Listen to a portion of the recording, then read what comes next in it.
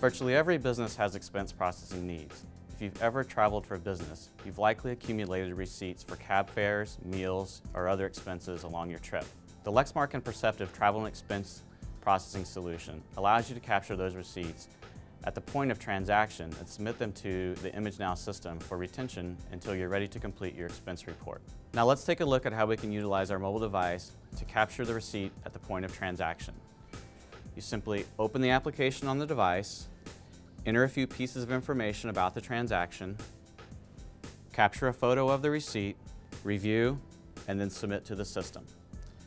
The receipt is now captured into ImageNow, where you can access it later for a review and preparation of your expense report and submitting for approval. Now let's take a step forward to the approval process where the approving manager wishes to approve the report using his mobile device.